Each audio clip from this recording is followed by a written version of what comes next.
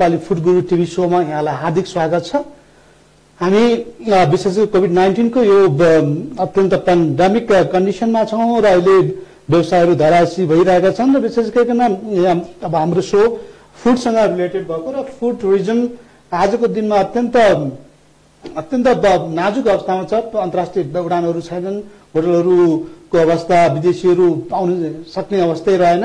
र सँगसँगै चाहिँ अहिले जेठ बिस गतेपछि र साउनपछिका अवस्थामा हेर्दाखेरि थोरै खोलिएका रेस्टुरेन्टहरू पनि अहिले आएर फेरि कोभिडको अझ बढ्दो क्रमले गर्दाखेरि सरकारले सटडाउन को अवस्थासम्म आइसकेको अवस्थामा र हस्पिटलहरूमा हामी चाहिँ देख्छौँ सरकारले चाहिँ बेड छैन भेन्टिलेटर छैन भनिरहेको अवस्थामा चाहिँ यो अत्यन्त फुड टुरिज्मको इन्डस्ट्रीमा अत्यन्त गाह्रो र एकदमै नाजुक अवस्था छ। र फुड फुडको सन्दर्भको कुराकानी आजको हामी जोड्ने नै छौँ। र नेपाली फुड गुरु टिभी सोले को तर्फबाट हिजोबाट हामीले चाहिँ फुड रिलिफ क्याम्पेन पनि सुरुवात गरेका छौँ र हप्ताको दुई दिन आइतबार बिहिबार चाहिँ चाहिँ हामी एउटा सानो भए पनि एउटा सामाजिक सेवा गरौँ र अब हाम्रो एज अ पेसाले पनि हामी आफै सेफ सेफ साथीहरूलाई सँगै लिएर जहाँ खानेकुरा पुगेको छैन अथवा खाना नपाउने अथवा खानाको लागि केही मतलब सहयोग होस् भन्ने अभिप्रायले हिजोबाट सुरुवात भएको छ। यो क्रमिक रूपमा चाहिँ हाम्रो यो यात्रा सुरुवात हुनेछ। र सधैँ चाहिँ हामी नेपाली फुड गुरु टिभी सोमा समाज अथवा रेस्टुरेन्ट होटेल टुरिज्म कृषि विविध क्षेत्रका व्यक्ति व्यक्तित्वहरू बोलाउँछौँ। र आज हामीसँग यसै सन्दर्भमा नेपाली फुड गुरु टिभी सोमा हामीले यस्तो व्यक्तित्व निम्ताएका छौँ जो एउटा जिन्दगी काठमाडौँमा आइसकेपछि कसरी जिन्दगीलाई सुरुवात गर्न सकिन्छ र एउटा एउटा सिम्पल एउटा सानो पेसाबाट चाहिँ काठमाडौँ छिरेर काठमाडौँ आएर अध्ययनका सिलसिलामा पेसा गरेर पेसाबाट फेरि व्यवसाय सुरु गरेर उहाँका आफ्नै इतिहास छन् आफ्नै सङ्घर्ष छन् त्यस्तै सङ्घर्ष अरूलाई पनि इन्सपायर्ड हुन सकोस्। त्यो इन्सपायर्ड विशेष गरिकन फुड इन्डस्ट्रीमा त्यो अझ मूल्यवान हुनसक्छ। त्यो यी चिज सङ्घर्षका जिन्दगी एउटा पार्ट भयो र फुड कल्चर अ, मा विगत तिस चालिस वर्षको इतिहास र आजको डेटमा चाहिँ फास्ट फुडको अवस्था र यसले समाजमा ल्याएको परिवर्तन food lifestyle food for that यी सबै चिजहरूको बारेमा कुरा कुरा गर्दैछौँ कुरा गर्नेछौँ। र आज हामीसँग हुनुहुन्छ एभरेस्ट फास्ट फुड क्याफेका सञ्चालक कुमार भण्डारी। म उहाँलाई कार्यक्रममा स्वागत गर्न चाहन्छु। कुमारजी यहाँलाई कार्यक्रममा स्वागत छ।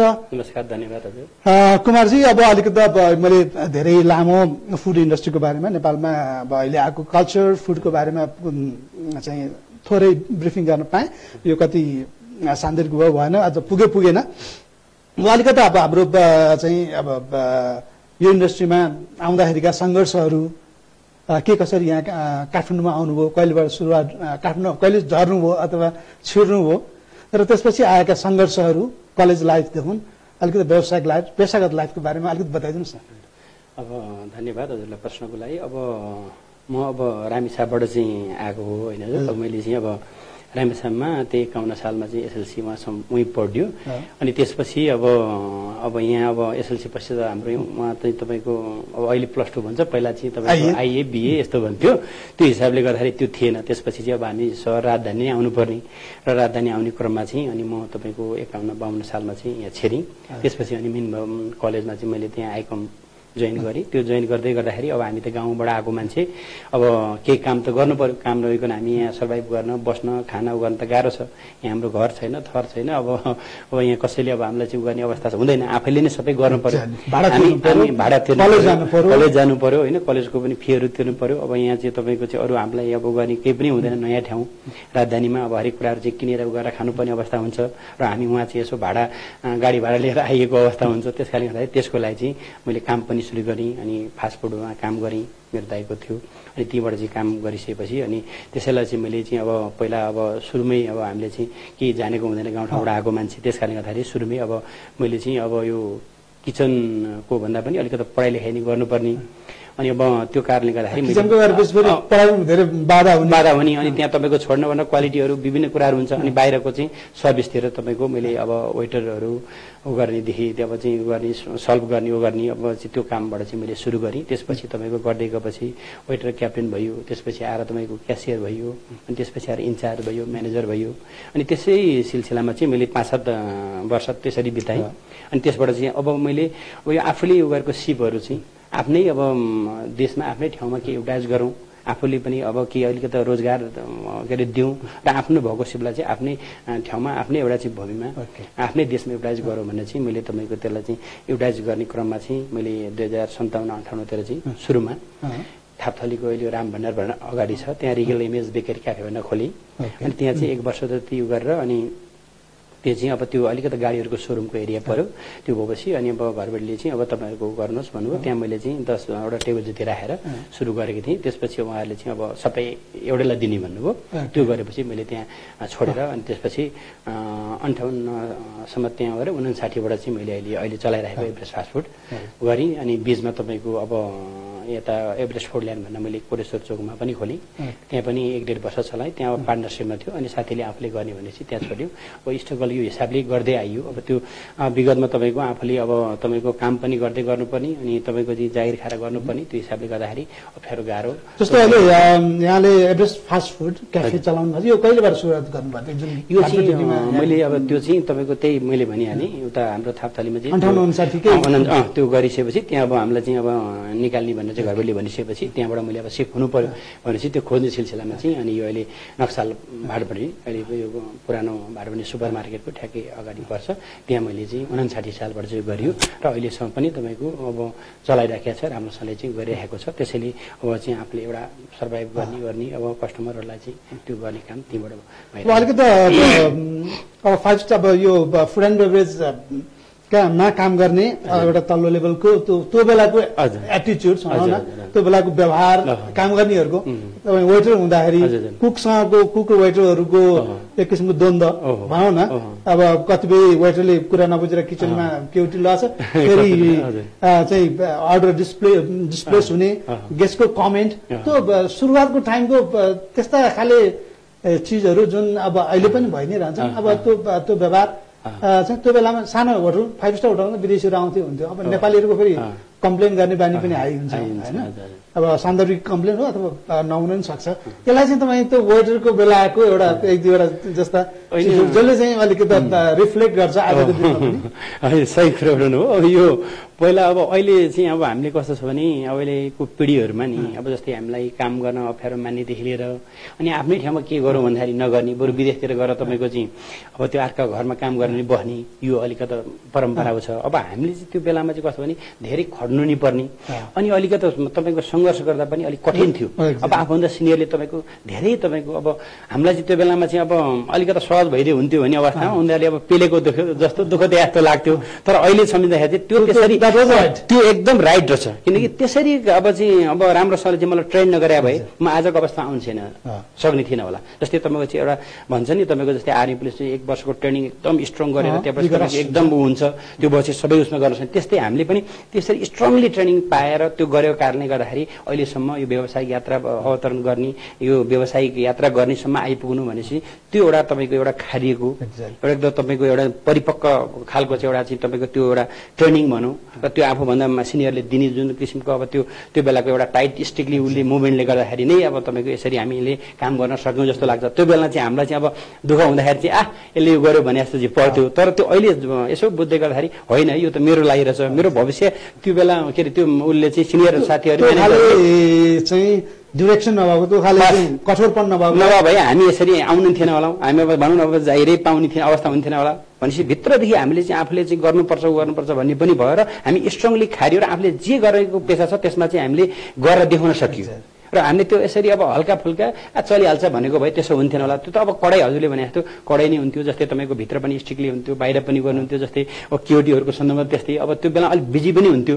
फरेनर पनि आउने कल्चरहरू राम्रै थियो। अहिले यस्तो यस्तो भताभङ्ग अवस्था थिएन। त्यसपछि माओवादी द्वन्द्व भएर त्यस्तै बिग्रियो होइन। त्यसरी अहिलेको यो पछिल्लो समय चाहिँ एकदमै अब भनौँ न यो व्यावसायिक हिसाबमा चाहिँ गाह्रो परिरहेको छ। र पहिला त तपाईँको धेरै राम्रो हुन्थ्यो। अब तपाईँको खाना खाने टाइम नहुने दुई तिन बजी अब हामी खाना खान पाउने अवस्था हुन्थेन।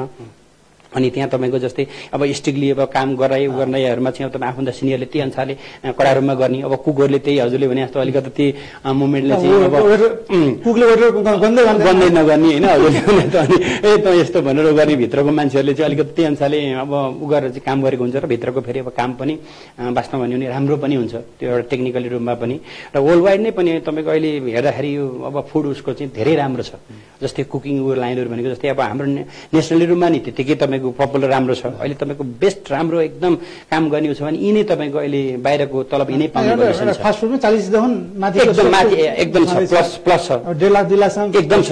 त्यो। आफू क्यापेबल छ भने हेर्नुहोस्। त्यस कारणले त्यस्तो स्कोप बनेको छ। यो अहिले राम्रो पनि छ। अब अहिले विगतको अलिकति यो विभिन्न त्यो अब प्राकृतिक अब विपत्ति भनेको त अब यस्तै हो होइन। यो हामीले चाहेर गरेर पनि होइन। त्यो तपाईँको कहिले काहीँ अक्कल पनि आउँछ त्यो हिसाबले यो गरेको हो। नभए तपाईँको धेरै राम्रो यो क्षेत्र जस्तो लाग्छ यो हस्पिटालिटी यसमा चाहिँ जस्तै होटेलहरू रेस्टुरेन्टहरू।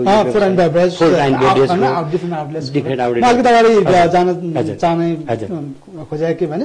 अब फास्ट फुड यहाँहरू फास्ट। फुडको एउटा कन्सेप्टमा विशेष गरी अझ रामेछापबाट आउनेहरूको यहाँ ठुलो चाहिँ त्यसलाई के भन्छ चेन रेस्टुरेन्ट। सबै भाषामा भन्दाखेरि चेन रेस्टुरेन्टको एउटा जुन यहाँले परिकल्पना मतलब त्यो समय अनुसार नै एउटा चेनको। सुरुवात भयो त्योभन्दा अगाडि जस्तो अब नाइन्टिन फिफ्टी सिक्सटिज सेभेन्टिजमा गोइङ आउटसाइड इटिङ आउटसाइड भन्ने कुरो। होइन?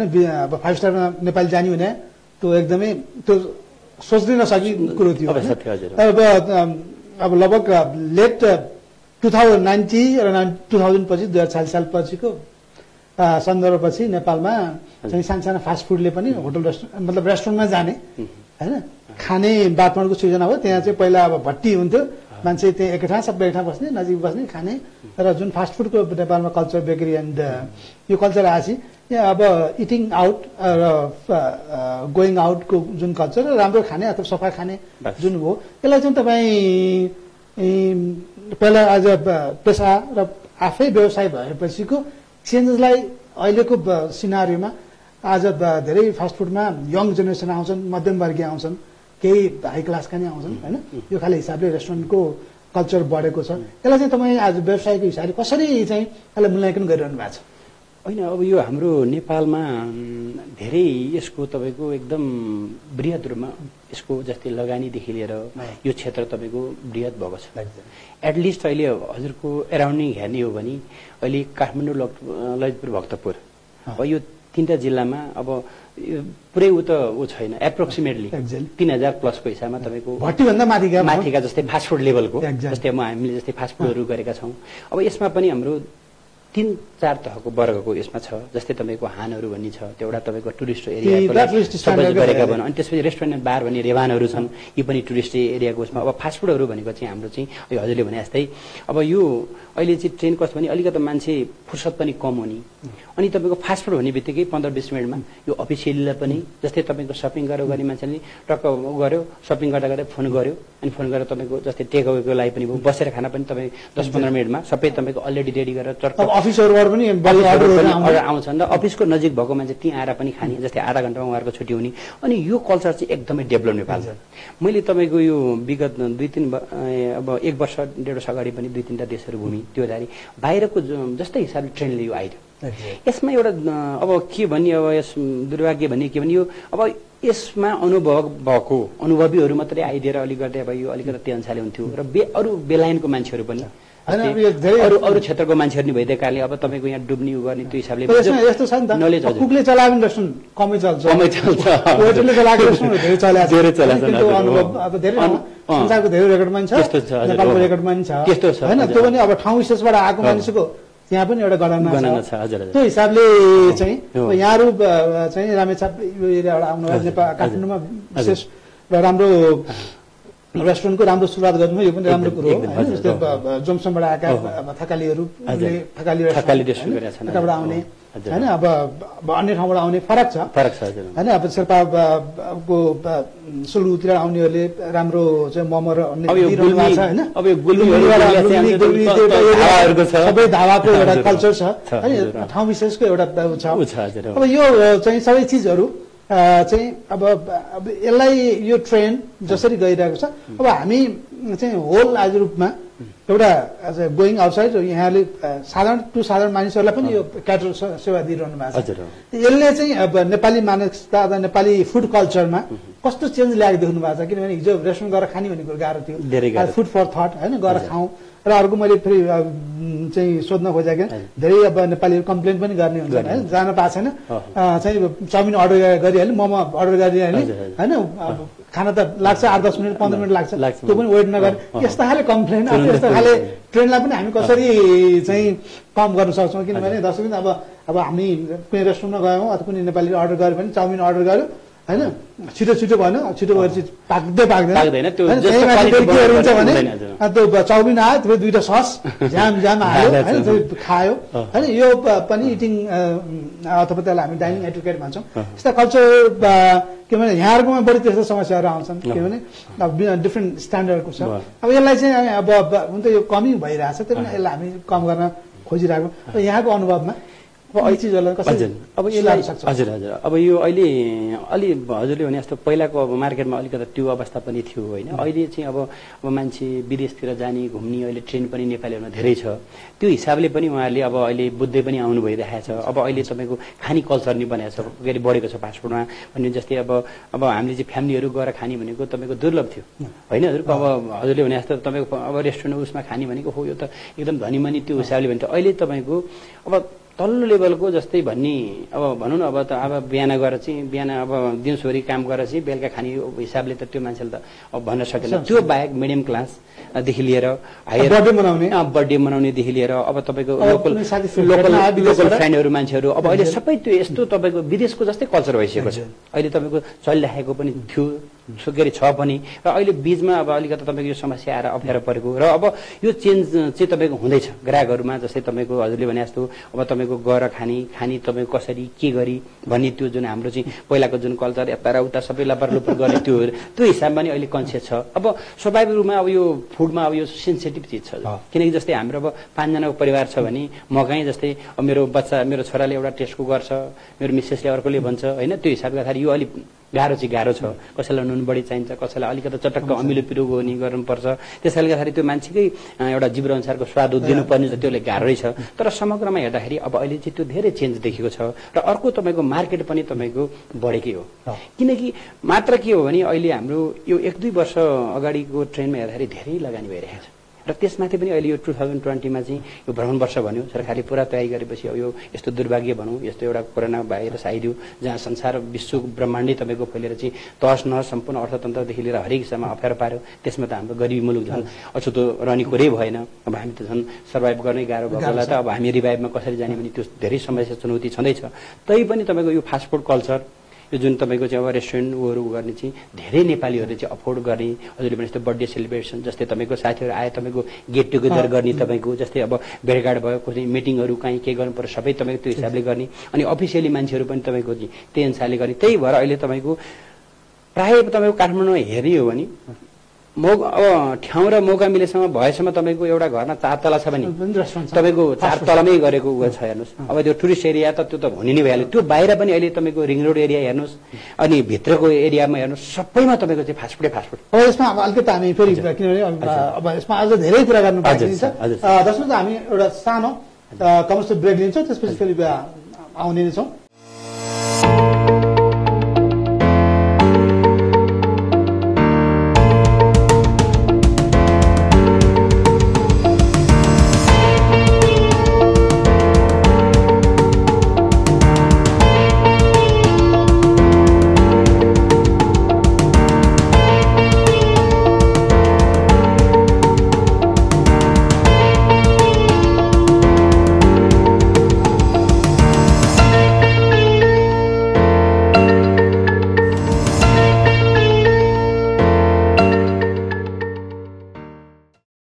फेरि पनि यहाँलाई कार्यक्रममा स्वागत छ। आज हामी फुड सम्बन्धी विशेष गरिकन फुड र लाइफस्टाइल अ, का बिचमा केही दशकहरूमा नेपालले धेरै फड्को मारेको छ र आज हामी चाहिँ फुडको बारेमा धेरै अनुभव धेरै उहाँले लिएका धेरै अनुभव र साथसाथै व्यावसायिक क्षेत्रमा भएका चेन्जहरूलाई कसरी चाहिँ अगाडि बढिरहेछ भन्ने कुरा गरेको छु। आज हाम्रा अतिथि हुनुहुन्छ कुमार भण्डारीजी।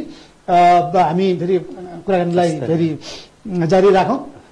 अब यो बिचमा फास्ट फुड क्षेत्रमा भएका लगानीहरू होइन अब यो मिडियम टु अलिकति हायर स्ट्यान्डर्ड भएका रेस्टुरेन्टहरू काठमाडौँमा कति छन्? र अहिले कोभिड नाइन्टिनले पारेको असर होइन असर कति छ भन्ने कुरो भएन। त्यो पनि यो क्षेत्रमा चाहिँ कस्ता बढी समस्या अहिले देखिएको छन् चुनौती ट्याक्कै कस्ता चुनौतीहरू देखिरहेछन् अलि यसबारेमा अलिकति प्रकाश पारिदिनुहोस् न एकदम सही प्रश्न गर्नुभयो हजुरले। अब यो अहिलेको हिसाबमा हजुरको कोरोनाले पछि अब विश्व सबै आक्रान्त भएको अवस्थामा हामी अछुत हुने कुरा भएन। अब यसमा जस्तै हजुरले भन्यो अब कति रेस्टुरेन्ट भन्दाखेरि अब अब यसको तपाईँको यति नै भन्ने उचित छैन तर एप्रोक्सिमेटली तिन हजार प्लसको यो हाम्रो काठमाडौँ ललितपुर भक्तपुरमा त्यति जतिको जस्तो अनुमान एउटा मैले पत्रिका हेर्दाखेरि त्यो एउटा त्यो मैले उयो गर्दाखेरि त्यसमा त्यो हिसाबको एउटा चाहिँ डाटा निकालेको थियो त्यो हिसाबको हाम्रो ऊ छ। त्यसमा तपाईँको पचहत्तर हजार प्लस तपाईँको चाहिँ मजदुरहरूले काम गरेको अवस्था छ। त्यस कारणले गर्दाखेरि अब अहिले यो तपाईँको कोभिड भइसकेपछि हामी दुई तिन महिना लकडाउनको अवस्थामा बस्नु पर्यो। अब जब राज्यले तपाईँको चाहिँ अब लकडाउनको अवस्था के अरे चाहिँ अब चाहिँ घोषणा गरिदियो किनकि अब लकडाउन गरिसकेपछि अब बाहिर ननिस्केपछि यो हुँदैन भन्ने हिसाबले। अब हामी अब बाहिरतिर चाहिँ अब धेरै देख्यो त्यो हिसाबले होला भन्ने पनि। पर्यो। तर वास्तवमा नेपालमा त्यो बेलामा थिएन हेर्नुहोस्। अँ। दुईजना एकजना मान्छे पनि भएको थिएन। त्यसपछि सरकारले चाहिँ अब आत्तिएर भनौँ अब बाहिरतिर अब धेरै त्यो तपाईँको चाहिँ मान्छे बाहिर निस्क्यो फैल्यो भनेर चाहिँ अब यहाँ पनि हुन्छ भनेर गर्नुभयो। त्यो हिसाबले गर्दाखेरि त्यसले गर्दाखेरि हामी झन् मार कहाँ पर्यो? अहिले के देख्यो भने उल्टो भइदियो त्यसको। किन भन्नुहुन्छ भने जस्तै दुई तिन महिना त हामी पचास सा साठीजना गनेर बस्यौँ। आजको दिनमा हेर्नु हो भने तपाईँको यी काठमाडौँ तपाईँको दुई सय तिन सय देखिरहेको छ। अब तपाईँको अहिले सबै तपाईँको चाहिँ रेड जोनमा पर्ने अवस्था छ। जस्तै मैले अहिले चलाइरहेको भाटबटेनी नक्साल सुपर मार्केटको अगाडिपट्टि उसमा त्यो चार नम्बर अन्तर्गत पर्छ। अहिले तपाईँको हिजोको मैले डाटा हेरेको थिएँ नेपाल सरकारको त्रिसठी भन्दा बढी तपाईँको त्यहाँ भइसक्यो। अहिले तपाईँको रेड जोनमा त्यो पहिरो छ त्यो अब त्यहाँ चाहिँ कस्तो भने त्यहाँ सँगै अख्तियारहरूमा त्यत्तिकै कर्मचारीहरूलाई भन्नु यो सरकारी कार्यालयहरूमा बढी संक्रमण झन् देखिने अहिले बढी झन् अझ अरू अरूलाई अझ बढी यसले झन् असर असर गरिरहेको। गरिरहेको अवस्था छ। त्यसमा तपाईँको जस्तै अब अहिले तपाईँको पछिल्लो समयमा जस्तै अब अहिले लकडाउन भनेर चाहिँ खोलियो। खोलिएपछि केही मात्रामा यसो डराएर भए पनि अब कस्टमरहरूलाई तपाईँ हामीले यताउति अब विज्ञापन गरेर यो गरेर हुन्छ हामी तपाईँको सुरक्षित अवतरण गरेर चाहिँ हामीले चाहिँ सबै व्यवस्थाहरू राम्रो गरेका छौँ। होइन हाइजेनिक फुड निरानी क्लिन अनि भएको प्रविधिहरू सरकारले जे दिएको छ मापदण्ड। नेपाल सरकारले जस्तै मास्क सेनिटाइजर अहिले हामी देख्छौँ नि सरकारी हजुर। कार्यालय कर कार्यालय हजुर। भने लाइनको लाइन लाइन छन्। होइन अब अरू कार्यालयमा देख्छौँ। रेस्टुरेन्टमा दुईजना चारजना राखेर पनि चाहिँ खान खुवाउन नपाउने ओन्ली फर डेलिभरी अथवा टेक अवेलाई मात्रै भनिएको छ। यसले अब अलिकति हुन त अब यो सरकारलाई चाहिँ अब ठाडै भन्न खोजेको त होइन होइन। यसमा कतिसँग असर गर्यो होला? तर कुन चाहिँ रेस्टुरेन्टबाट मान्छेहरू सङ्क्रमण भएर चाहिँ अरूमा पर्यो त्यो परेको कुनै आँकडा देखिन्छ सरकारले किन यसमा चाहिँ अझ रेस्टुरेन्ट र यी क्षेत्रलाई बढी टार्गेट गरेर चाहिँ प्रतिबन्ध जस्तो लगायो त। यो अब मैले अब मेरो बुझाइमा चाहिँ के छ भने अब सरकारलाई हामीले अब सिकाउने भन्दा पनि हामीले हामीले भयो कुरा चाहिँ हामीले भनियो हेर्नुहोस् होइन? उहाँहरूले अब तपाईँको बुझेर जानेर विज्ञहरूसँग सल्लाह गरेर चाहिँ गर्नुभएको निर्णय भन्नुहुन्छ। उहाँले सबै उल्टो गर्नुभएको छ। जुन बेलामा लकडाउन गर्नुपर्ने छ अहिले लकडाउन भइरहेको छ तपाईँको। के अरे पहिला गर्नुपर्ने के अरे के अरे खुकुलो गर्नुपर्ने पहिला नगर्नुपर्नेमा अहिले गर्नुपर्नेमा अहिले तपाईँको चाहिँ यसरी खुला गरिदिएको छ। यसमा सटडाउन भनेको छ तपाईँको अब जतापातिर मान्छे जुलुस गरेर हिँडिरहेको छ यो गरिरहेको छ कहिले तपाईँको चाहिँ सरकार बचाउ भनेर गइरहेको हुन्छ तपाईँको कसै अब त्यति त भयो भयो हेर्नुहोस् एउटा तपाईँको चाहिँ अपराधी गर्दाखेरि तपाईँको त्यहाँ पुलिस प्रशासनले एउटा चाहिँ पत्रकार कार्यक्रम गर्छ त्यहाँ तपाईँको सयौँको सङ्ख्यामा तपाईँको गरेको हुन्छ। अब तपाईँको न त्यहाँ मार्क्स गरे हुन्छ ऊ आफैले मार्क्स गरेन भने जरिवाना लिइरहेको हुन्छ। विडम्बना। अब हाम्रो व्यवसायमा यो सरकारको नीति प्रश्न नभएर वा सरकारले अब चाहिँ नजानेर वा के गरेर भन्छौँ हामीले होम प्याक वा टेक अवे जुन भनेर सरकारले भनेको छ त्यसमा झन् खतरा छ। हामी त के छ भने त्यहाँ बसेर गइरहेका छौँ। जस्तै हामीलाई के अरे डर छैन हजुर। हामीलाई बादमा छैन। तर हामीलाई त के छ भने मर्नको भन्दा नि यहाँ रोग र भोगले। अहिले अहिले तपाईँले हेर्नुभयो भने यो पछिल्लो डाटा गर्दाखेरि तपाईँको मैले एउटा डाटा तपाईँको एउटा उसबाट चाहिँ लिएको थिएँ। अहिले तपाईँको झुन्डिएर मर्ने अठार सय अडतिस पुगेको छ। तपाईँको मान्छेले आत्महत्या गरेर तपाईँको चाहिँ बिख खाएर मर्ने चालिस पचासजनाको हाराहारीमा छ। आत्मदाह गर्ने चार पाँच भनेपछि रोग र भोगले। अहिले हेर्नुहोस् बाढी पीडित भएर तपाईँको चाहिँ कति घरै गाउँै सबै उठाएको छ। अब यहाँ कोरोनाको हावा फिजाएर अरबौँ तपाईँको देशको ढुकुटी सिद्धाएर अब तपाईँको कुनै नियन्त्रण छैन नि त। झन् फैलिँदो अवस्था छ। अनि यो त तपाईँको सरकारको अकर्मणता असंक्षणता र फितलोपन व्यवस्थापनको कमजोरी यो ढाकछोप गर्न हामी जस्तो व्यवसायी जब सरकारले के भन्यो हामी लकडाउनमा हुँदाखेरि तपाईँको चाहिँ अब पैसा तिर्न आइज। नाका नाकामा भन्सार भन्सार सबै बन्द छ। तिमीहरूले पैसा देऊ नभए तर के अरे कर्मचारी खाना पाएन भनेपछि हामीले पनि त के के त्यसरी बोलिदिनु होइन, अर्थ त अर्थमन्त्री त्यसरी बोलिदिनु भनेपछि यो तपाईँको कसै निजी क्षेत्रले पनि केही टेवा त दिएको रहेछ नि त। यदि निजी क्षेत्रले टेवा दिँदै गर्दाखेरि आज तपाईँ यसरी तपाईँको भोगै मर्नुपर्ने अवस्था छ। एउटा केही प्याकेज त सरकारले घोषणा गर्नु पर्यो। त्यसको लागि तपाईँको आयकर भनेर तपाईँको एक प्रतिशत लिएको छ सरकारले। एक दशक भइसक्यो। यसमा तपाईँको मतलब यो चाहिँ रेस्टुरेन्ट व्यवसायीहरू उद्योगीहरूले तपाईँको बिस पर्सेन्ट अनि एघार पर्सेन्ट सम्बन्धित तपाईँको चाहिँ मजदुरबाट गरेर एकतिस पर्सेन्ट उठाएर त्यो सामाजिक सुरक्षा कोष भन्छ। सामाजिक सुरक्षा कोष भनेको चाहिँ तपाईँको यस्तै आपद विपदमा हो। त्यसमा अरबौँ तपाईँको चाहिँ तपाईँको सङ्कलन छ। अब तपाईँको यहाँ बेरोजगार भइरहेको छ मान्छे। अब रोजगारी हामीले सिर्जना गर्छौँ। अनि यसरी सिर्जना हुन्छ जस्तै भएको होला उनीहरूले तपाईँको मेन्टेन गर्न सकेको छैन। जस्तै अहिले हामीले राज्य आतङ्क भइरहेछ। प्रहरी प्रशासनले दमन गरिरहेछ।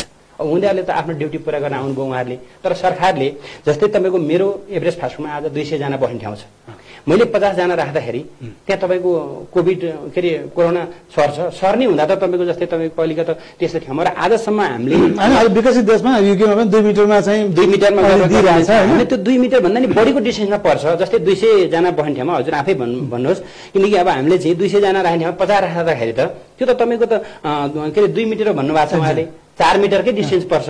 र अहिले मैले प्रसङ्ग जोड्दैछु जस्तै होम प्याक होम डेलिभरी। जस्तै डेलिभरी गर्दै जस्तै एउटा घरको घरमा अर्को घरमा जाँदाखेरि त्यहाँ त तपाईँ जस्तै त्यो मान्छे छ भने त सबैलाई सर्ने भयो झन् जस्तै त्यहाँ त तपाईँको हामीले माग सेनिटाइजर सरकारी मान्छे सामाजिक दूरी कायम गरेर हाम्रो तपाईँको भएको ओहरूलाई चाहिँ तपाईँको सबै ड्रेसहरूमा तपाईँको त्यो हामीले चाहिँ। यो भाइजर ऊ जस्तो तपाईँको देखि लिएर तपाईँको चाहिँ हामीले चाहिँ अगाडि पानी राखिदिएर हातहरू धोएर गरेर होइन? तपाईँको निट एन्ड क्लिन बनाएर तपाईँ कीटनाशक औषधिहरू हालेर तपाईँको डिस्टेन्स मेन्टेन गरेर हामी एउटा सर्भाइभ गर्न यो सरकारलाई नि कर तिर्नुपर्छ हामी पनि बाँध्नुपर्छ। अब हामीलाई सबभन्दा चुनौती भनेको त घर भाडा तिर्न छ। हाम्रो करोडको लगानी भनेको अर्काको घरमा गर्नुपर्छ। र नाइन्टी नाइन पर्सेन्ट आफ्नै घर भयो नि त लगानी। लगानी छ। र नाइन्टी नाइन्टी पर्सेन्ट चाहिँ अब यो रेस्टुरेन्टहरू यो फास्ट फुडहरूमा तपाईँको अर्काको घरमा हामीले लगानी गर्नुपर्छ। र यो व्यवसाय भनेको संवेदनशील छ। किनकि यो तपाईँको दुई तिन महिना बन्द हुने बित्तिकै यो तपाईँको बन्द तिन महिना छ महिना भइसक्यो? गर्न गाह्रो पर्छ। रोजगार गुमाएका भयो रोजगार गुमाइरहेको।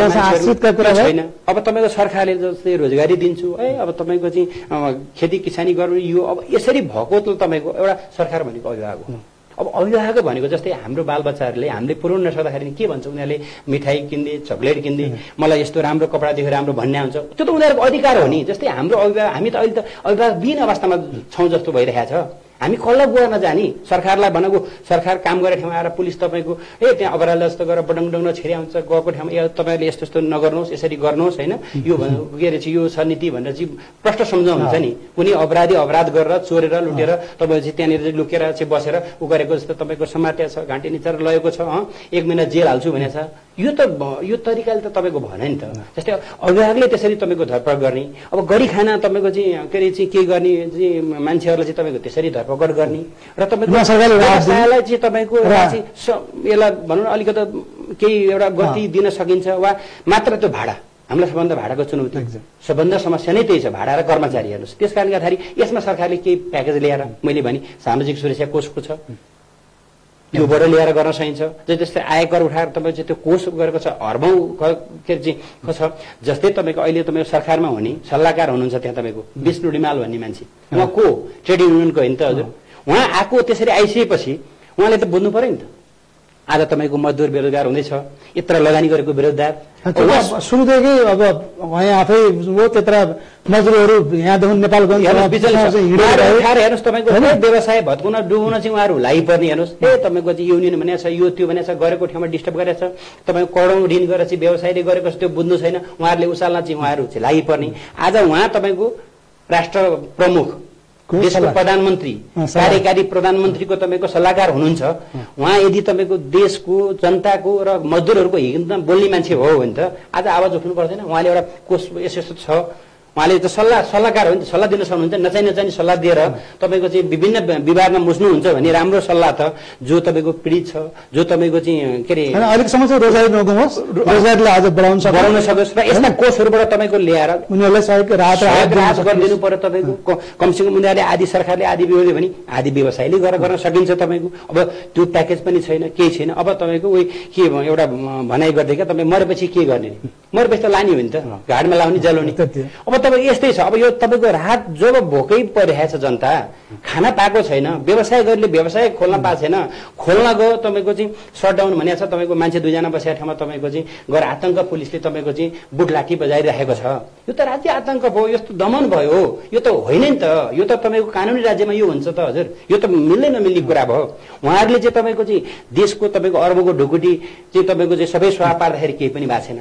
हामीले अहिले तपाईँको खोलेका दुई तिन सय रेस्टुरेन्टहरू खोलेका छन्। कहाँबाट तपाईँ कुनै पनि एउटा रेस्टुरेन्टबाट प्रमाण ल्याउनुहोस्। कुनै पनि एउटा रेस्टुरेन्टमा कोरोना चाहिँ यो रेस्टुरेन्ट पुष्टि पनि छैन तपाईँको. अहिले भएको कहाँ छ? अख्तियारमा भएको छ। पुलिसको तपाईँको हेड क्वार्टरमा भएको छ। म तपाईँको त्यो चार नम्बर वडा भएको कारणले गर्दाखेरि त्यहाँनिर तपाईँले रेड जोन भनिन्छ जहाँ तपाईँको अब मैले त्यो अरू व्यवसायलाई भन्न खोजेको होइन सबै पीडित छन्। जस्तै तपाईँको अहिले सार्वजनिक यात्रा चलाउनु चलाउनु दिएको छ। त्यहाँ तपाईँको सबै खालका मान्छे कहाँ कहाँबाट आएको हुन्छन्। त्योबाट भइरहेको छ। अहिले म बस्ने कोडेश्वरमा मेरो घर छ। त्यहाँ माथि अहिले तपाईँको चाहिँ सिल गरेको छ। त्यहाँ पनि त्यस्तै मान्छेहरू छन् तपाईँको। जहाँ तपाईँको भिडभाड गरेको जस्तै तरकारी बजार खचाखच छ तपाईँको अब बगुतिर जानुहोस् तरकारी गर्ने तपाईँको इन्डियादेखिको त्यहाँ भनेर गयो भने तपाईँको म अस्ति यो पन्ध्र बिस दिन अगाडि पुगेको थिएँ एउटा तपाईँको चाहिँ लिने सिलसिलामा चाहिँ सामान लिने सिलसिलामा गएको। आ हामी त यस्तै हौँ। यहाँ त केही पनि गर्छ न मास्क लगाएको छ न केही छ। यस्तो तपाईँको भेवाड हुने ठाउँ जहाँ तपाईँको धेरै ऊ हुन्छ त्यस्तो ठाउँमा तपाईँको चाहिँ उनीहरूले सरकारले चाहिँ नियन्त्रण गर्नु पर्यो नि हाम्रोमा त तपाईँको सबै सरकारले भनेको मापदण्ड पुरा गरेर हामी दुई सय राख्ने ठाउँमा दुई सयजना मान्छे बढ्ने ठाउँमा चाहिँ बिसजना राखेर गइरहेको छ अहिले रेस्टुरेन्टमा को जान्छ हजुर? अहिले त कस्तो पनि सबैलाई मन्दी आएको छ। हाम्रो इन्कम क्यापिटल कम भइरहेको छ। इन्कमै छैन? अनि त्यो एक त कस्टमर त्यहाँ जाने अवस्था हुँदैन। अर्को तपाईँको एक दुईजना आएकोलाई पनि अब तपाईँको चाहिँ ए खाना हुँदैन भनेर छ बडङ र बुडुङ गरेको छ तपाईँको चाहिँ अब खाना के अरे खाना बस्दा सय रुपियाँ जरिवाना अरे अनि तपाईँको साउजीलाई चाहिँ तपाईँको चाहिँ एक महिना एक महिना एक- जेल एक महिना? एक महिना जेल भनेको छ तपाईँको अनि तपाईँको आतङ्क फैलाएको छ। अनि यो त तपाईँको राम्रो तरिका भन्यो राम्रो कामको लागि गर्दाखेरि ठिक हुन्छ नि त। अहिले तपाईँको अब उहाँहरूको मिटिङ बस्या भने छ। भालडारमा दस घन्टा मिटिङ त यो गरिब जनताहरू जहाँ बाढी पहिरो के अरे पहिरो पीडित भए जो तपाईँको व्यवसाय गरेका छन् यी सबै डुबेका छन् यिनलाई कसरी राहत ल्याउन सकिन्छ? अब तपाईँको आत्मदाह आत्महत्या गरेर मान्छे मरेका छन् त्यो रोगले भन्दा नि भोक र शोकले मान्छेलाई तपाईँको तनाव छ जस्तै हामी व्यवसायी पनि कति साथीहरू तपाईँको मरिसकेका छन् आत्महत्या गरिसकेका छन्। अब अब हुने पनि दुई तिन महिनापछि तपाईँको झन् विकराल अवस्था आउँदैछ। किनकि अब अहिले चाहिँ सरकारले के भनेको थियो भने यो भदौबाट सबै चल्छ। सबै अब कोरोना पनि सबै। इन्टरनेसनल एयरलाइन्स अब नेसनल सबै गर्ने सबै खुलाउने भनेर गरेको थियो हेर्नुहोस् अब बालबच्चाहरू पढ्न पाछन् यो कसको असक्षमताले कसको अकर्मण्यताले भन्दा सरकारको अनि त्यो तपाईँको ढाकछोप गर्नलाई कोहीले तपाईँको चाहिँ अब राष्ट्रभक्तिको के अरे गाना गाएर कोहीले तपाईँको चाहिँ व्यवसायीहरूको ठाउँमा गएर चाहिँ तपाईँको लट्टी बुट हानेर यो पनि समाधान हुन्छ हजुर।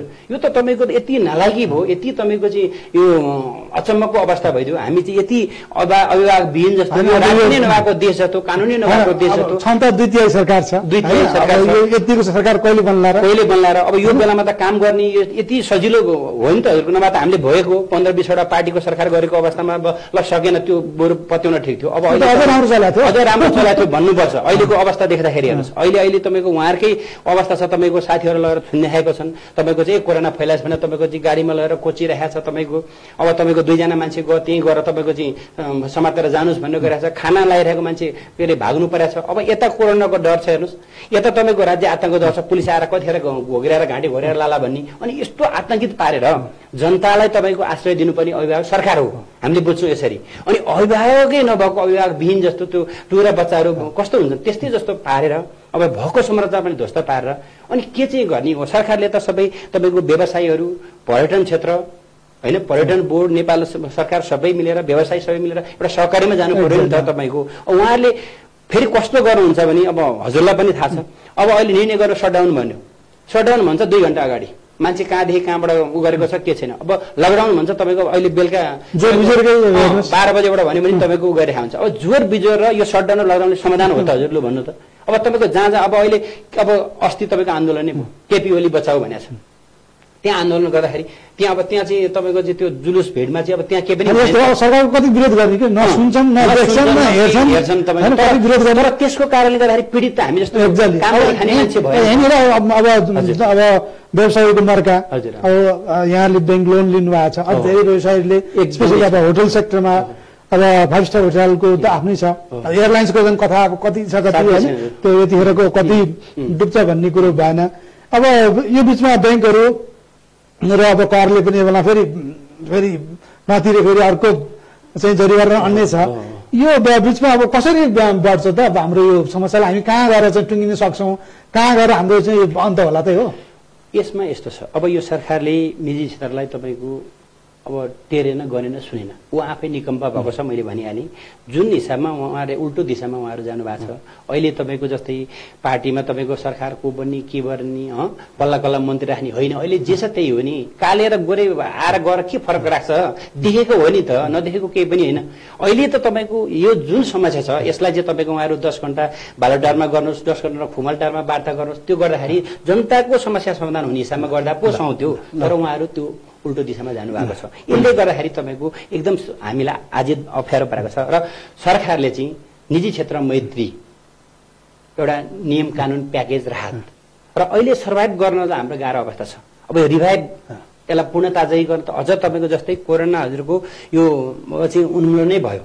भने पनि अब यो छ महिना के अरे छ महिना अब अहिले आजको दिनमा उन्मूलन भने अर्को एक वर्षमा तपाईँको सम्म तपाईँको व्यवसायमा गाह्रो पर्छ। किन भन्दाखेरि छ महिना अझै ल- लम्बे लाग्ने अवस्था है। होइन होइन भनेपछि दुई सय बस्ने ठाउँ हामी तपाईँको पचास साठीजना खानुपर्छ सामाजिक दूरी कामै गर्नुपर्छ। त्यो भए पनि पछि आउन समय सम्भावना हुन्छ। त्यस कारणले गर्दाखेरि अब अहिले तपाईँको ठिक हुँदै गर्दा पनि एक वर्ष हामीलाई अप्ठ्यारो पर्छ भने अब यो त झन् बढिरहेको अवस्था छ। अब यो तपाईँको आजको दिनमा तपाईँको चार पाँच महिना तिन महिना त तपाईँको लकडाउनले सरकारले। पचासजना तपाईँको हुँदाखेरि लकडाउनले थुनेर राख्यो। अब अहिले तपाईँको चाहिँ लकडाउन गर्नुपर्ने बेलामा चाहिँ तपाईँको चाहिँ यस्तो अवस्थामा चाहिँ सरकार छ। त्यस कारणले गर्दाखेरि अब व्यवसाय त तपाईँको त्यसै तपाईँको डुब्ने अवस्था आइरह्यो त्यस कारणले मैले भने अहिलेको सामाजिक सुरक्षा कोष भनेर के अरे खडा गरेको छ त्यहाँ अरबौँ जम्मा छ। आयकर भनेर एक दशकदेखि लिएको छ। त्यो कोषहरूबाट अब उ गरेर चाहिँ सरकारले चाहिँ निजी क्षेत्र मैत्री। एउटा नीति प्याकेज ल्याउनु पर्ने हो। यदि। तपाईँको यदि निजी क्षेत्र पनि चाहिन्छ यिनीहरूले पनि हामीलाई टेवा गरेको छ यो क्षेत्रले पनि हामीलाई चाहिँ एउटा चाहिँ राज्यको एउटा चाहिँ अङ्गको लागि हुने सक्दैन। तर अहिले उहाँहरूको व्यवहार देख्दाखेरि तपाईँको उल्टो राज्य आतङ्क सम्पूर्ण होइन। तलब खाने खाने अस्ति- देख्यो नि हजुरको अर्थमन्त्रीको उहाँले बोलिहाल्नु बोलिहाल्नुभयो। तर जाँदा जाँदै हामी कार्यक्रम अन्त पनि आइसकेका छौँ। अब यहाँ पूर्व चाहिँ फास्ट फुड रेस्टुरेन्टको केन्द्रीय सदस्य छाता सङ्गठन पनि रहनुभयो। अब सम्पूर्ण व्यवसायीहरूलाई अब व्यवसाय प्रकारका मर्काहरूको बारेमा अलिकति छोटो अब चाहिँ सरकारलाई घस्काउन सक्ने के के चिजहरू घस्काइदियो भने यो चाहिँ केही न केही भयो भने हामीले चाहिँ यो अम, असहजतालाई अलिकति त भयो भने सहज सानो आशा सानो चाहिँ एउटा दियो। कहीँ न कहीँ बल्न सक्छ भने कहीँबाट आउन सक्ला कि भन्ने कुरो? अब यसमा मैले अहिले हजुरलाई भनिहालेँ होइन यस्तो अब यो अहिलेको विषम परिस्थितिमा सरकारले हामी अब जे भने पनि अब सरकारलाई हामी अभिभावकको रूपमा लिन्छौँ। अभिभावकले तपाईँको यस्तो अप्ठ्यारो गाह्रो साह्रो पर्दाखेरि हेरिदिनुपर्छ भन्ने हाम्रो मान्यता हो। र त्यति नभए पनि हामीले गरी खाने ठाउँमा काम गर्ने ठाउँमा कमसेकम काम गर्ने गरेर खाने वातावरण सिर्जना गरिदिनु पर्यो। यसको मतलब उहाँहरूले कोरोना नियन्त्रणलाई भन्न अरबौँ खर्च गर्नुभएको छ। त्यो खर्चको के त त्यो त औचित्यहीन भएको छ। आज आज जनताले सबैले सोधिरहेको पनि त्यही छ। खर्च गर्यो तर के हो त्यो बालुवामा पानी हालेको जस्तो त्यसको रिजल्ट निस्केन। यो भनेको मतलब के छ भने हामीले यसलाई तपाईँको यो सरकारले ल्याइदियो हामीलाई ल्याइदियो भन्न खोजेको होइन। यो भवितव्य पर्यो आयो संसारलाई यसले पिरोल्यो। अब हामी त झन् गरिब मुलुकको देशको मान्छे गरिब राष्ट्र छ त्यसमाथि झन् अब चाहिँ यसलाई चुसेर लुटेर खाएर अब भनौँ अब के भनौँ यसलाई झन् गरिब बनाएको अवस्था छ यो सबैले देखेको भएको कुरा हो। र यसमा त अब हामीले धेरै एक्सपेक्ट गर्ने कुरा छ हाम्रो त धेरै उ नै छैन। हाम्रो धेरै त्यस्तो ठुलो माग पनि छैन। केही अब हामीले नाइन्टी नाइन पर्सेन्ट अहिले हजुरलाई मैले भनेपछि भाडामा कटौती मतलब होइन भाडा लिएर हामीले काम गरेका छौँ र त्यसलाई? अरूको घरमा हामीले चाहिँ लगानी गरेका छौँ करोडौँ अरबौँको हेर्नुहोस्। अब अहिले हामीले कुनै ठाउँमा सात लाख आठ लाख महिनाको भाडा तिर्नु परिरहेको छ। त्यसमा जस्तै अब हामीले घरबेटीलाई तपाईँको जिल्ला छोडिदिनु पर्यो भन्दा उहाँहरूले पनि त्यसैबाट सर्भाइभ गरेर बाल बच्चा पाल्न खानुपर्ने अवस्था पनि छ? पनि गर्नु अब जस्तै बैङ्कले अब चाहिँ ब्याज के अरे अब चाहिँ हामीले लिएको ब्याज ऋणहरू छुट गर भन्दा बैङ्क पनि एउटा नाफाको लागि गरेको छ। सरकारले के गरिदिनु पर्यो भने बैङ्कलाई कोषबाट पैसा दिएर दिनु पर्यो। र अनि यो प्याकेजमा ल्याएर चाहिँ हाम्रो जस्तै घर भाडा। र कर्मचारीको। यो चाहिँ व्यवस्थापन उहाँहरूले चाहिँ गरिदिनु पर्यो। उहाँहरूले यसमा राहत दिनु पर्यो। र अनि अब जस्तै अहिले जुन त उहाँहरूले चाहिँ अब के बुझेर यसरी गर्नुभएको छ होइन? जस्तै तपाईँको टेक अवे मात्रै भन्नुभएको छ। त उहाँहरूले चाहिँ कस्तो भने भिडभाड हुने ठाउँमा नियन्त्रण गर्नु पर्यो। जहाँ जहाँ कोरोनाको सम्भावना हुन्छ जहाँ जहाँ धेरै मान्छे सङ्ख्यामा उपस्थित हुन्छ त्यो ठाउँमा नाकाबन्दी गर्ने सिलबन्दी गर्ने त्यहाँ पुलिसले भने आर्मी राख्ने। अब अहिले हेर्नु लाखौँको सङ्ख्यामा मान्छेहरू आएर यो अवस्था भएको हो। काठमाडौँमा थिएन नि त। तिन महिनासम्म पचासजना गरेर बसेको नि त। तपाईँ हामी सबैलाई थाहा छ। त्यस कारण अब अहिले किन यस्तो स्थिति भयो भन्दाखेरि यो बाहिरको मान्छे नै आएर। किनकि यहाँको मान्छेलाई थिएन नि त। यो भित्र बसेर गरेको थियो। त्यसपछि आएर बाहिरको सबैलाई त्यो अनुसारले छाड अब त्यो अब कसको मान्छे आयो सरकारी मान्छे आयो कि? अब तपाईँ कर्मचारी आयो को- अब पनि अब जस यहाँको माग चाहिँ सरकारले चाहिँ नियन्त्रण गरिदिनु।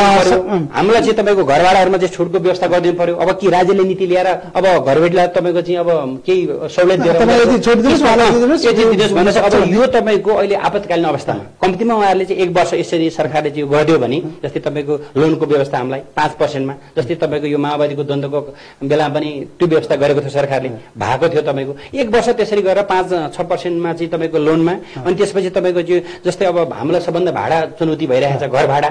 किनकि अब घरबेडलाई पनि हामीले नलि भन्न सक्ने अवस्था छैन उहाँहरू पनि त्यसबाट। यसमा चाहिँ राज्यले हेरिदिनु पर्यो। घरबेडलाई हाम्रा तपाईँको अनि उता आफ्नो आफ्नो स्टाफलाई फेरि? स्टाफहरूलाई तपाईँको त्यही अनुसारले म्यानेज गरिदिनु पर्यो। मैले भने अहिले तपाईँको सामाजिक कोषहरू भनेर त्यही काटेरै राखेको छ। त्यसबाट उहाँहरूले चाहिँ एउटा प्याकेज बनाएर ल्याउन सक्नु पर्यो। त्यहाँ तपाईँको त्यही ट्रेड युनियनका मान्छेहरू गएका छन्। मैले अहिले फर इक्जाम्पल भनिसकेँ प्रमुख सल्लाहकार भएर बस्नु भएको छ। यसरी अहिले मजदुरहरू खान पाएर बाटोबाट हिँड्नु परेको छ। बेरोजगार भएर तपाईँको चाहिँ रोग र भोगले मर्नुपर्ने आत्महत्या गर्नुपर्ने हँ? मान्छे चाहिँ तपाईँको चाहिँ मानसिक रोगी हुनुपर्ने। विविध चुनौती आइरहेको छ। त्यस कारणले यो कुराहरूमा चाहिँ उहाँहरूले चाहिँ मेन्टेन गरिदिनु पर्यो। यदि अभिभावक उहाँहरू हो सरकार हो यदि सरकार देशमा छ नियम कानुन छ भने काम गरेर खानलाई सुरक्षित वातावरण गरिदिनु पर्यो। र हाम्रो कारणले तपाईँको अप्ठ्यारो परेको छ भने यो कारणले छ भने उहाँहरूले भनिदिनु पर्यो। हामी त्यो गर्दैनौँ किनकि हामीले असर पर्छ भने चाहिँ हामी पनि त ज्यानको माया मारेर काम गरिरहेको छ भने हामीलाई पनि त कोरोना लाग्छ भने डर हुन्छ। तर गाह्रो छ त्यही भएर। यतिका समय हामीले चाहिँ आज फुड विशेष फास्ट फुड क्षेत्रमा समग्र चाहिँ फुडको क्षेत्रमा यसरी तपाईँसँग खुलेर कुरा गर्नु पाइयो। कुमारजी कार्यक्रम आइदिनु यसको लागि धेरै धन्यवाद छ। र दर्शक वृन्दलाई पनि आजको नेपाली फुड टिभी सो यहाँले हेर्नुभयो विशेष गरिकन फास्ट फुड र होटल टुरिज्म क्षेत्रमा भएका समस्याहरू सरकारले चाहिँ सरकारको तयारी र सरकारले गरेका यी सबै काम सबैलाई थाहा छ सरकारलाई कति गाली गर्नु यसमा कुनै जति गाली गरे पनि अहिले मन सबैको चाहिँ बुझेको छैन। त्यही कारणले गर्दाखेरि यी सब यावत समस्या फुड इन्डस्ट्रीका बारेमा हामीले कुराकानी गऱ्यौँ दर्शक Nepal Nepali food guru TV show यो यहाँहरूको टेलिभिजन टेलिभिजन प्रोग्राम हो र हिजोबाट हामीले चाहिँ फुड रिलिफ क्याम्पेन पनि सुरुवात गरेका छौँ र यो क्याम्पेन चाहिँ अहिलेको कोभिडको टाइममा अलिकता भने मलम थप्ने इँटामा इँटा हाल्ने राख्ने हामीले चाहिँ प्रयास गरेका हौँ। यति भन्दै म हाम्रो कुमारजी अन्तमा यहाँ कार्यक्रममा आइदिनु भयो र केही विषयवस्तुलाई केही छन् भने थोरै? धन्यवाद हजुर। अब यसरी मलाई चाहिँ यो आफ्नो अहिले यो कोभिड पछिको अवस्था अगाडिको अवस्था रेस्टुरेन्ट व्यवसायमा परेको समस्या र अनि यो हजुरले चलाउनु भएको Nepal Nepali food guru TV TV show होइन? यो चाहिँ अब एकदम सान्दर्भिक छ। यहाँहरूको चाहिँ मैले कार्यक्रम हेर्दाखेरि तपाईँको चाहिँ अब यो फुड कल्चरलाई चाहिँ अन्तर्राष्ट्रिय स्तरसम्म पुर्याउनको लागि अब यो चाहिँ धेरै भूमिका खेल्नु भएको छ। त्यसको साथै अब चाहिँ हामीले एउटा सामाजिक काममा नै जोड्ने काम गर्नु भएको छ। यो एकदम सराहनीय छ। एकदम प्रशंसनीय कार्य के अरे कार्यक्रम ल्याउनु भएको छ यसको लागि चाहिँ म एकदम मेरो हृदयदेखि नै हार्दिक बधाई पनि भन्न चाहन्छु र यो यो हाम्रो चाहिँ मुनलाइट टिभी यसलाई। चाहिँ परिवार सबैलाई चाहिँ म धन्यवाद र आभारी व्यक्त गर्न चाहन्छु र विशेष गरी यो नेपाली फुड गुरु कार्यक्रमको चाहिँ अब सञ्चालक हजुरलाई पनि विशेष अब चाहिँ यो हजुरको योगदान यो हजुरले गर्न खोजेको काम कदमको लागि चाहिँ म चाहिँ अब अग्रिम शुभकामना र अब पछिल्ला दिनहरूमा पनि एकदम सहकार्य गरेर चाहिँ अगाडि यही हो। हामी यसैमा अगाडि जान्छौँ र। हजुरले जसरी तपाईँको यसलाई चाहिँ एउटा अन्तर्राष्ट्रिय जगतदेखि लिएर यो अहिलेको फुड कल्चरहरूलाई चाहिँ यसरी डेभलप गर्ने हिसाबले गर्नु भएको छ यो एकदम सराहनीय छ यो अत्यन्त अहिलेको अवस्थामा चाहिँ एउटा धेरै सान्दर्भिक राम्रो र यो एउटा नौलो खालको एउटा आयाम ल्याउनु भएको छ साँच्चीकै यो तपाईँको यो पछिल्लो पिँढीको लागि र पछि आउने एउटा चाहिँ सन्ततिको लागि यो टेक्निकल लाइन छ यो फेरि एकदमै राम्रो लाइन छ यो हाम्रो चाहिँ जुन अब यो कुकिङ लाइन भन्ने कुरो यो अन्तर्राष्ट्रिय मार्केटदेखि म पनि विदेशतिर धेरै ठाउँमा चाहिँ गर्दाखेरि तपाईँको धेरै डिमान्ड भनेको चाहिँ यो तपाईँको मन्त्री सन्त्री भन्नु त्योभन्दा नि बढी देख्यो। र अहिले तपाईँको विदेश जाने भनेको नि कि तपाईँको मैले पनि जापानमा मेरो रेस्टुरेन्टबाट हजुरको चाहिँ बिसौँजना मान्छे गएँ।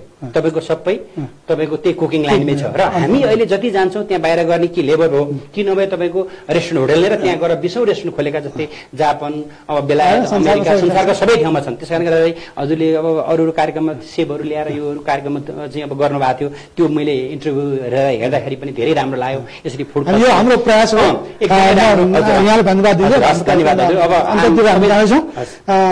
कार्यक्रममा आइदिनु यसलाई धेरै धन्यवाद। तपाईँले चाहिँ फास्ट फुड क्षेत्रका विषयवस्तुलाई एकदमै सबैको अगाडि राखिदिनु भयो।